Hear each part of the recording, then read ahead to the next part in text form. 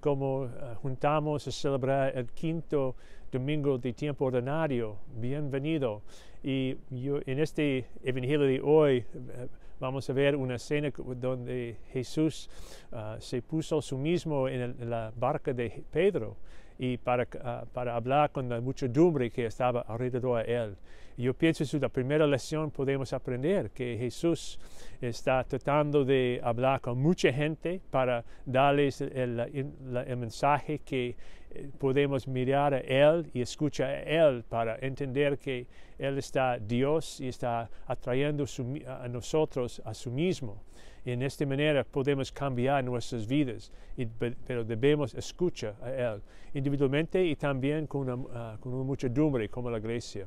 Y también hay un acto de Jesús un poco fuerte, pero en, en ponerse en la, barca de Pedro en este día, simplemente decidió para ponerse y es, esta acción pequeña cambió el mundo y cambió Pe Pedro por siempre también.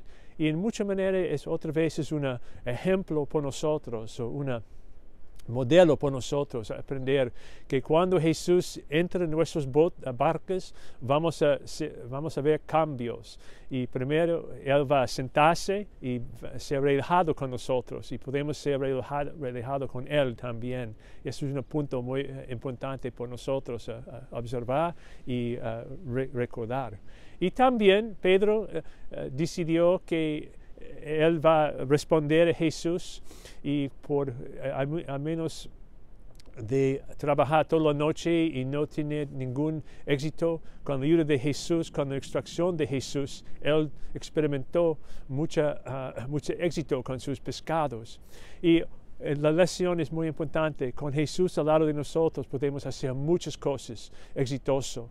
Y por nosotros, por supuesto, uh, nuestra llamada es ser santo, pero también evangelizar y por nosotros también sanar en esta ciudad. Y estamos llamados para permitir a Jesús entrar en nuestros botes, en nuestras almas, mentes, fuerza, uh, fuerzas y también uh, corazones para simplemente crecer con Jesús y permitirlos estar con nosotros en nuestras uh, barcas. Y otra lección para nosotros es recordar que Jesús está Uh, dándonos instrucciones, guiándonos y también con Él, uh, Él tuvo un éxito enorme. Y eso es otra para nosotros, otra lección para nosotros aprender. Y yo pienso que Él va a usar Pedro sus talentos y sus habilidades para uh, trabajar fuerte por toda la noche y para obtener no pescados de, del mar, sino uh, pescados de, uh, de, de los feligreses. Por, eso es importante recordar por nosotros que Él está diciendo a nosotros, por favor, escucha a Él y no tengo ningún miedo sobre um, pone sus redes en el mar para uh, ayudar a Jesucristo. Y de esa manera estamos uh, recibiendo y ayudando a Jesús a obtener más y más almas por Él. Y si podemos continuar cooperando con Él, vamos a ver que tenemos, con nuestros talentos, vamos también a tener éxito en Jesucristo. Que Dios les bendiga a todos este día.